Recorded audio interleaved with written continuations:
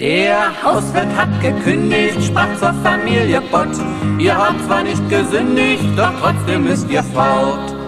Mutter schleppt die Möbel auf den Wagen, Vater muss die Waschmaschine tragen, Schwesterchen die große Gipsfigur und der kleine Benjamin die Bügeleisenschnur.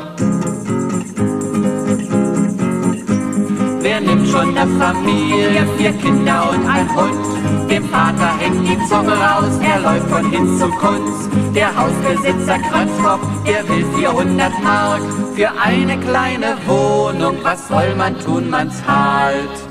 Mutter schleppt die Möbel auf den Wagen, Vater muss die Waschmaschine tragen, Schwesterchen die große Gipsfigur und der kleine Benjamin die Bügeleisenschnur.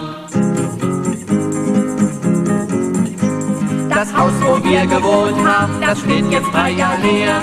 Und dann wird es kaputt gehauen, als ob es gar nichts wäre. Es soll da ein Bürohaus hin mit 21 Stock. Der Hausbesitzer fühlt sich stark, fast wie der liebe Gott.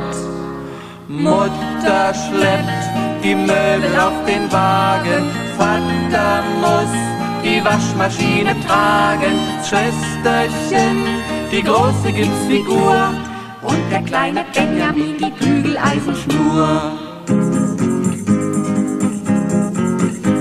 Doch das passiert uns nicht nochmal, dass wir die Dummen sind. Die Mutter sagt, das muss doch gehen, dass Mieter einig sind. Und dass der Hausbesitzer nicht von früh bis spät bestimmt.